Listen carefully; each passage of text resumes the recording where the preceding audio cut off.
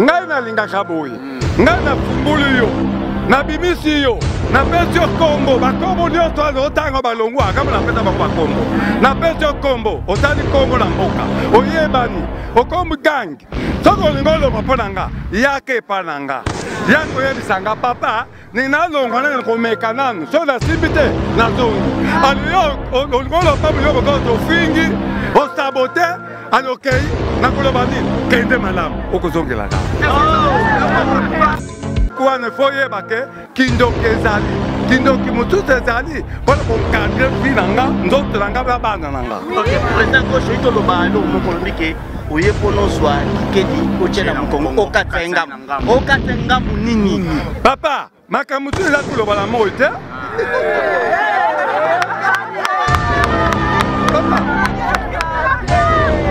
papa makambo ebele ezali baloko na moi te nalobi na mokuse mpo nalobi ke ngai lelo ngai na kitete tete ya tete nakade mwana wana nayoka susu te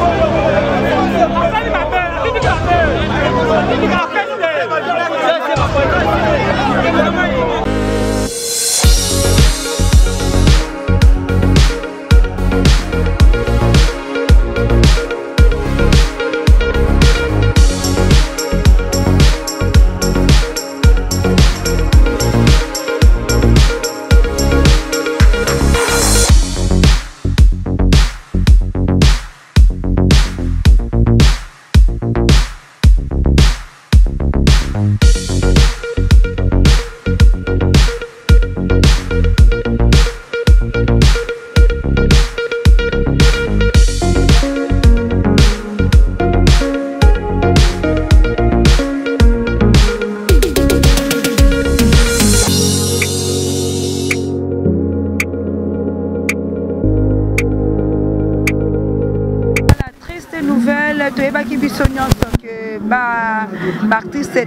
tango nyonso bazali wana pona kokufa. Merci beaucoup na ba abonné na biso ya Rachidi News TV. Toza wana déjà na kati ya cinquantenaire na matanga ya Sunda oyo azalaki artiste comédienne ya president kikedi autaki kotika biso lelo ezali nde euh, mokolo oyo bakoka etika ye na lilita voilà tozali wana antuka tokolandela mwa mituna ebele tomoni president muyombe gauche azali wana tomoni mwa bato ebele baartiste ebele baye vraiment yango wana akopesa bino mwa merci ebele restez toujours branché partagez cette émission ça nous fera énormément du bien merci beaucoup à toi notre partenaire privilégié serge kusanika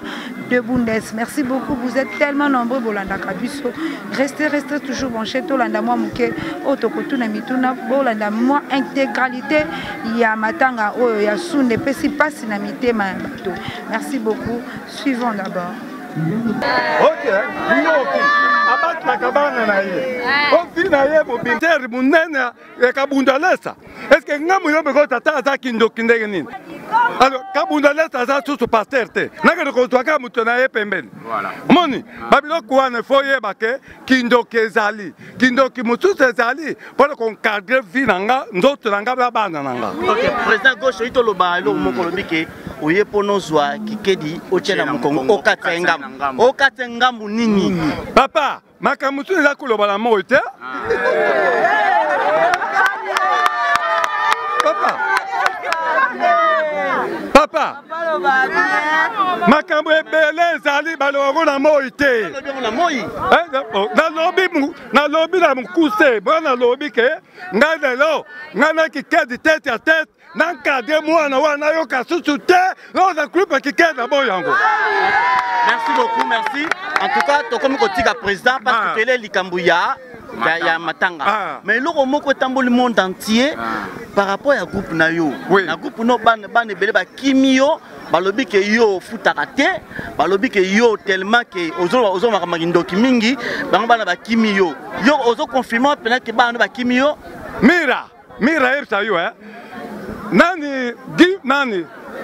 nani ki mario ye wana ozi kokufa akufi alongo pambu yo mbekosi ntango alongo pambu yo mbekosi ake sale ya ye akomi mpo na ye azokokusu kolia te azokoka kofuna su ndako te azokoka kovivre te alona erekatani awa abandi kobule alors ntango ngai moyobe ko soki nafutaka te gi mario wana afali soki mbula mbula mbula mbula mpo na nga oyoka gi mario akoki kofuta ndako su te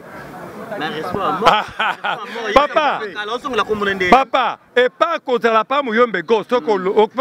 epa moyombe gauche atanga nafutaka yo to nafutaka yo okotala mopepe nini vi na yo mpe ekochange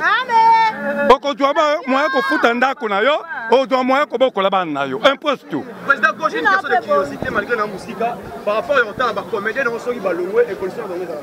ezalaka par rapport ya nini obendaka bachance na bango parce que presque bacomédien basala succès mpa na yo lelo tokotanga ngungi toyebaka te so akenda wapi tokotanga bakomedi ebele oyo baleka mpa na yo evolution eyebakaka te qu'est ce qui se passe obendaka bango bayabaakakani réponse aopesa yo ngai nalingaka boye hmm. ngai nafunguli yo nabimisi yo napesi yo kombo bakombo nyonso wana otanga balongwa ngambo napesa bango bakombo napesi yo kombo otali kombo na mboka oyebani okomi gangi soki olingi olongo mpo na nga yaka epa na nga yaka oyebisa nga papa ni nalongwa nani komeka nanu soki nasimbi te nazongi aliyo olingi oloba buyo because ofingi osabote alokei nakoloba nini kende malamu okozongelaka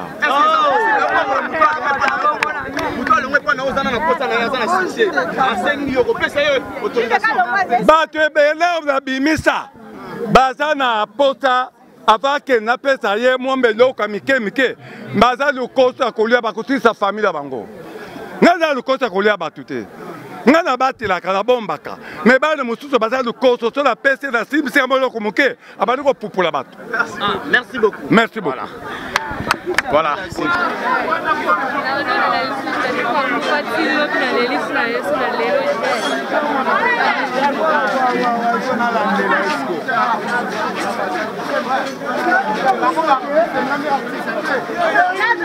bokanisa na bandenge na biso na ndenge nyonso me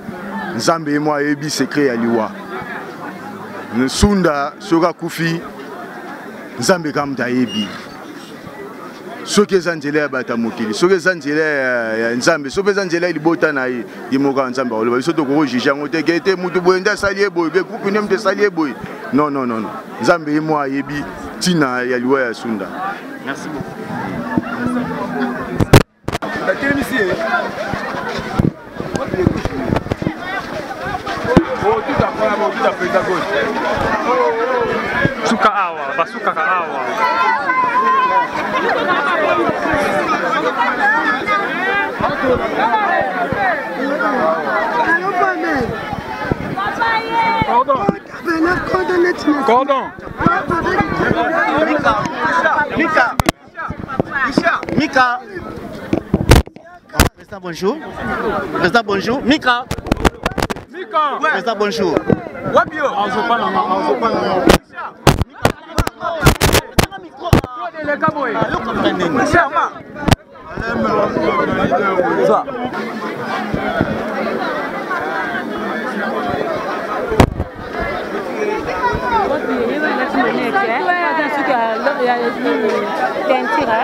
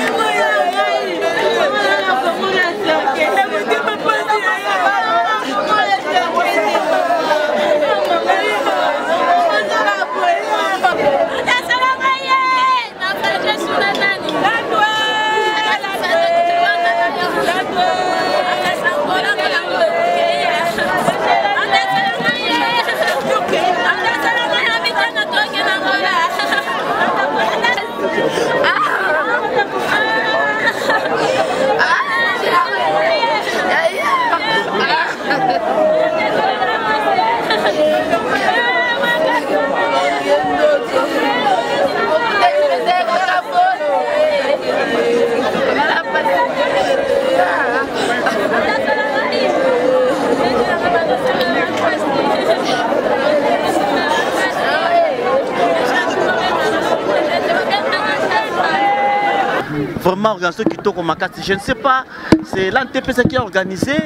euh, baobsèque parce que d'habitude baorganisation oyo ya président ke tomoni oyo alelo mpe différent eza mpona peut-être euh, yo moko président oye obekoma te awa eza esika matanga eza esika ba polemique te matanga eza matanga boyebiki mikolo oyo tozokufela mingi bagroupe ebele ebele bamakambo ebele na bamalade quand il y a un problème quand il y a un programme nous sommes organisés soit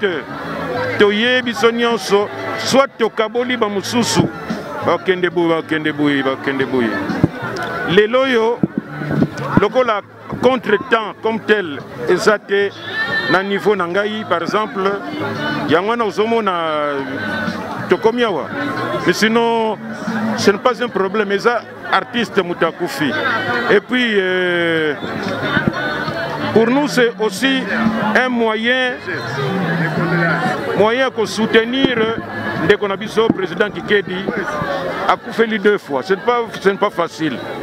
donc euh, il faut tozala pembeni na ye pour que morale na ye ezala likolo ntango tozozala pembeni na ye azomona ke aza na ba collègue na ye ya musala batiki ye te eh, oui mais kikedi aza parmi baprésident oyo ngai nalingaka na mingi na soutenaka moralement oyo soki naza na temps nabengi ye tosololi soki ye mpe soki aza na makambo eke abosani te azangaka te koyebisa ngai engai mpe soki likambo ezali tout ça nazangaka te koyebisa ye parce que je trouve que c'est quelqu'un qui qui se débrouille très bien biso il faut tosoutenir bato nyonso bazo se débrouiller oyo bazo faire parler mosala na biso omoni mosala na biso balobelaka mingi kaka côté négatif négatif mais il y a des gens qui se battent malgré ba difficulté toza nango ya ndenge na ndenge ba sponsor ya ya ya koluka et même soki mpe ozwi sponsor yango groupe ekoki kokufa mpo bakanisaki président azolia ebele nzoka nde au fond il n'y a rien du tout eza kaka mpo na korésoudre baproblème ya, ya mike mike mike donc nous on a le devoir ya kosoutenir président kikedi parce que oyo awuti ko connaître c'est pas tout le monde qui peut connaître ça eko demoraliser mutu mais toza wana mpona koyebisa ye ke vie eza ndenge wana lelo négatif ekozala mais il faut tozala toujours na idée ya positif voilà sinon problème eza te problème oko eza te Pusana, pusana, pusana, pusana.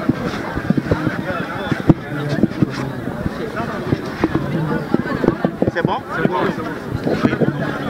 Maintenant, je pense que euh, eza mpena mpasi okufela des artistes comédiens na espace ya deux semaines trois semaines eza vraimen mpasi bato balobi ebele vraiment par rapport mpo bato oyo batunaka baquestion oh non eh, tout ça mais coïncidence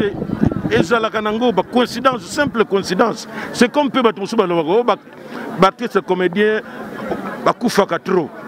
mais soki okei na onatra lelo oyo okoyoka parfois baza na 20 bato bakufi mais eske bokoyoka yango non bokoyoka na bino yango te ekosala yango impact te mais un artiste soki akufi aza moko ekosala impact moko makasi makasi e coïncidence esali que baartiste mibale balandana mais c'est un fait normal eza nini moko ya mawa regrettable mais ce n'est pas dramatisé liwa motu moko programmaka yango te liwa motu moko aza na maboko nzambe ye moko do bato bakosala o oh, baloba soki nini soki bango moko nde bazodekone parce que au contraire kutu ndenge nalobaka bazolakisaki baza mitema mabe toza na moment oyo ya kosoutenir ndeko na biso akufeli kokufela na bafamille na biso tokufelaka te alors donc ye mpe eza groupe na ye eza lokola famille na ye biso nyonso tokufelaka mais ezali ke baartiste mibale balandani eza choc makasi mais elingi koloba te mena babanda koloba ndenge nini balandani c'est dieu lui-même qui a voulu ça voilà te donc nasepeli kaka na intervention ya papa na ngai président masumu de pende euh, cestadire oyo ngai kuta kobakisa eza vraiment te cestadire question notuni ngai batuna nde nzambe Eh, pourkoi elandani batuna kaka nzambe mpo ngai nayebi seka liwa te sadi eh, sunda abelaki ntango tozalaki awa na ebembe ya fatu ti tokokunda fatu sunda na hôpital transvision trois fois biso tozosambela nzambe kutu oyo eya te mpo soki eye ekolobama e, nzambe ye moko apermete eye toyoki mpe makambo ekolobama do ya mingi ya koloba vraimen eza te hmm, merci vraiment ah, bonjour mama tomoni yo na matanga ya mwana na yo moko ya mwana na yo euh, président kikedi ntango ozwaki sango ya mwana na yo azokufela bakoko na ye yo ozoyoka yango ndenge bon sali pasi parce que kolandisa bibemi balesi plate vraiment esali nga pasi malgre liboso nayaka te nazalaka te na voyageaki ya mibale nde ekamwisi nga nalobi te fona telema parce que kedi akóma na niveau ya biso ya balegrand akóma na niveau ya biso ya mikolo azala tu na se te kelo na mata akomi vraiment motu monene na kati ya niveau ya théâtre congolais yango omoni présence na ngai presence na yo awa me elobami ebele president kikedi azokufela kaka bana na ye ekokufela na balobon c'est vrai mokili elobaka n'importe quoi balingi basala nini basimbisa kikedi touche mais kosimba su te esuki wana ete eh, ezasimba su te non kowuta paa nga kowuta paa nga c'est trop dire mais nayoyebisa yo totalaka toza nanu vivate toyebaka totalaka mpe makambo mosusu ekoyela oyo na butu mpe esuki wana batika kosimbisa tie litushe esuka wana mpe mpo tolinga te totelama tosukisa wana epo esuka mpe wana batika kikeda asala mosala na ye tolingi so koyoka na groupe na ye te o likama likama ya solo ekoya me kaka kolanda na boye eza malamu te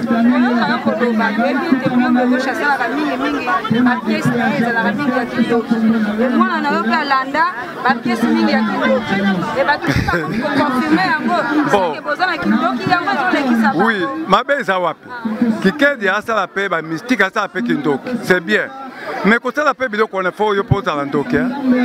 me mwana bato kikedi aza inosa azosala na ye bato mpe babetela maboko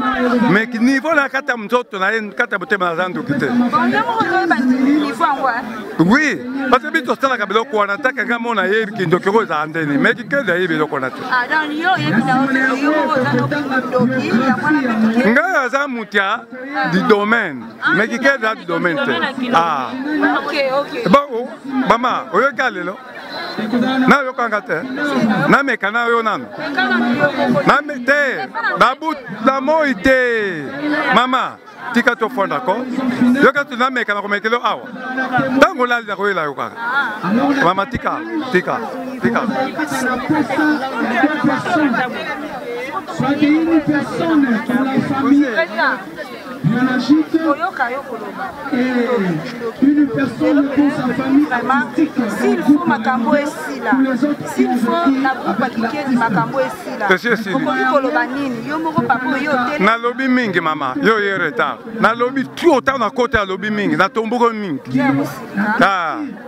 nasi nalobi nayali na koloba te me mpe nakoloba su te ntango namoni yo moni nakokwesa mida epai na yo te yango nalobi me nakoloba su te mpo nalobi to bon fola meme na mokongo na kati ya ngambo ah, mpo asala mosala kimia aza ayebi aza lidomene ayebi mosala wana me hmm. il faut batika les asala maka konte mosala na yo dofa fongwama misumama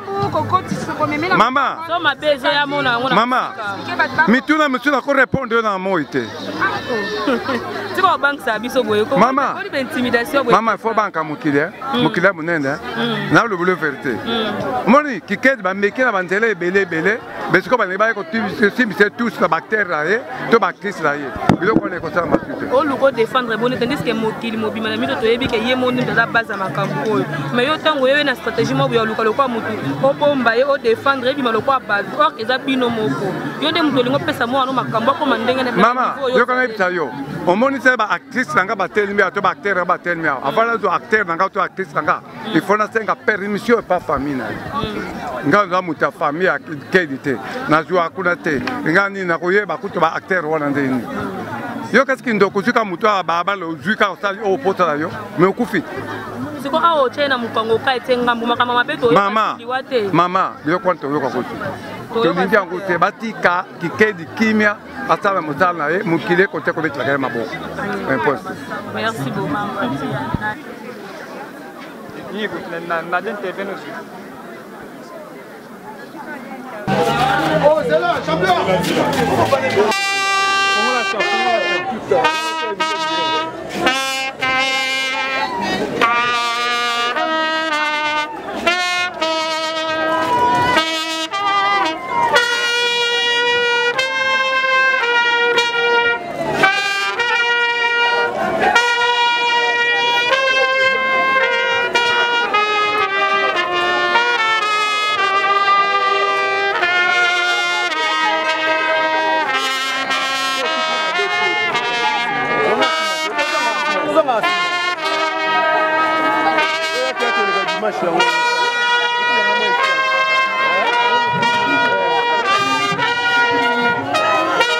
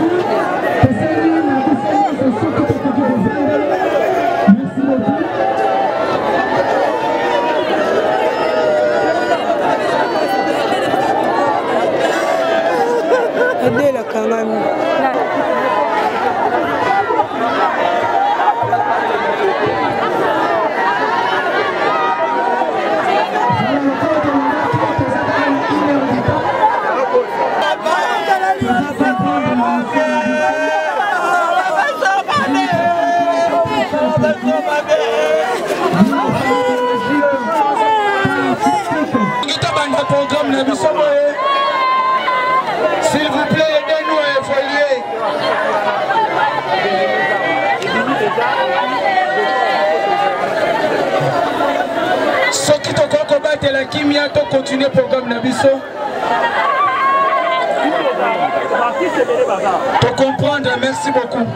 Merci.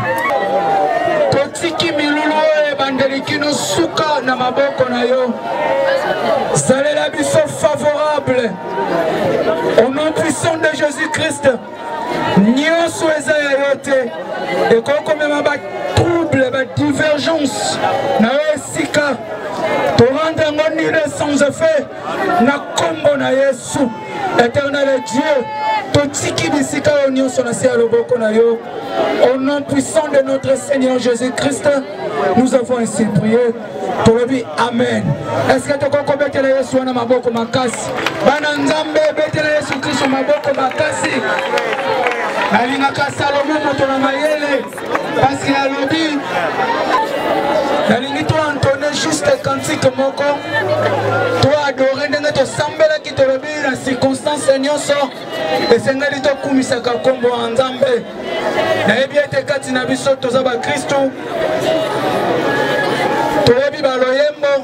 Juste loyembo moko avant toleka na prédication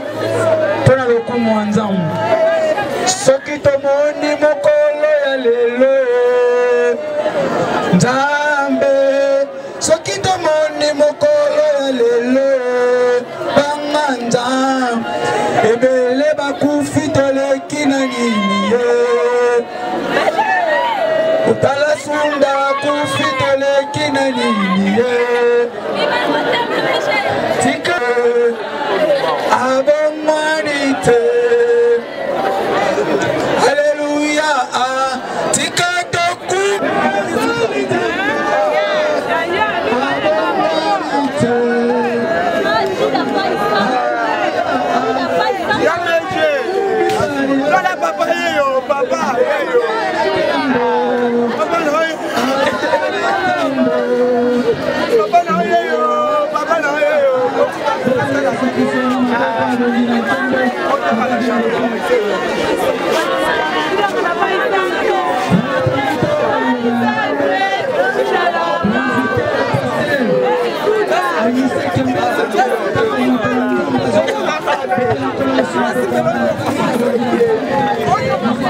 luka na vi na yo ozala na yesu na kati ya vi na yo ofandaka na yesu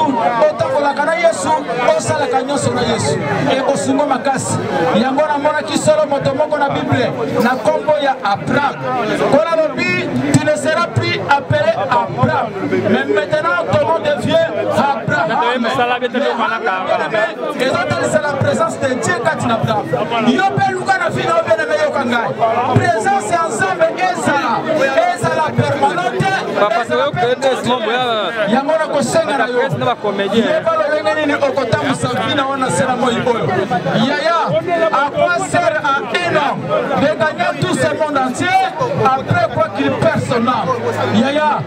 bisengo ya mokili ekoleka nyonso tozomona na se awa ekoleka yango profite yaya na ntango nanu oza na bomoi bongola motema na yo tika mabe yamba yesu masiya tambola sembo enfin ke ozala serviteur salaka grâce na moto oyo ayoki mateya oyo amettre yango en pratique enfin ke abika au nom de jésus nde nasambeli mpe tolobi amen nde kobenga ye Sunda kombo oyo euti koningisa na bapiese papa aboti artiste sunda kombo na ye ezalaki wumba nzita bongo mama aboti ye kombo na ye ezalaki nzuzi mbenza helene malheureusement bango mibale esi batika biso s'il vous plaît nabondeli biso so toko kotelema to observe une minute de silence en mémoire de ses parents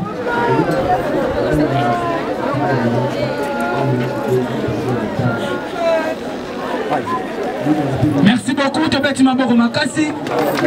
merci beaucoup toko koreganie baplace tocontinue alaki vraiment vrai mwana kin artiste sunda umba abotami na kinshasa label na 1983 seulement artiste oyo atiki biso abotama na 1983 akufi le 2 janvier 2002 soki ba mathématicien 2022 pardon soki ba mathématicien bazali awa basali calcul c'est à l'âge de 39 ans seulement que l'artiste nous a quitté allez-y comprendre que l'artiste akufi vraiment na flair d'age asali vraiment eloko te mais tokosala nini nkolo nde adeside bongo tosincline derrière volonté ya nzambe bongo mama sunda abalaki mpe abotaki bana misato ya basi baza mibale ya mobali aza moko mibale baza na angola esika mpe abandaki koevolue awa présentement toza kaka na fille ene na ye soki botali ye ntango akoleka mpo na horizon funèbre bokomona photocopie vraiment ya sunda bongo na profession na ye lokola tout kinois na cadre ya tout cherche na ndenge ya koluka ya qui cherche nde bakinois tolobaka abandaki mwa bavoyage na ye ya bangola bakwenda vutuka me ayaki kochite na 2011 na groupe renove kikedi esika abandaki mosala na ye ya théâtre aévoluaki kuna